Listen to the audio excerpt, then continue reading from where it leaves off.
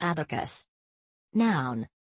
A table or tray strewn with sand, anciently used for drawing, calculating, etc.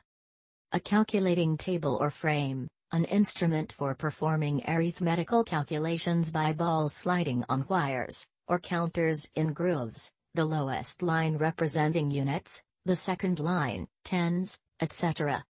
A board, tray, or table, divided into perforated compartments, for holding cups, bottles, or the like, a kind of cupboard, buffet, or sideboard.